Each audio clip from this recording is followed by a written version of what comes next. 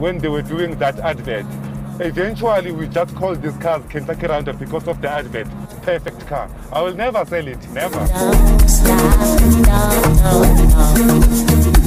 There are more than 20 Kentucky Rounders.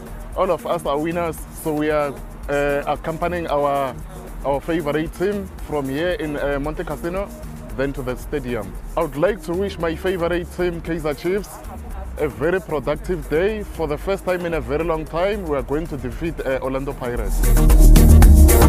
Uh, we are having a convoy with the AC uh, bus. We are taking the, the players to the stadium. So I'm very excited with this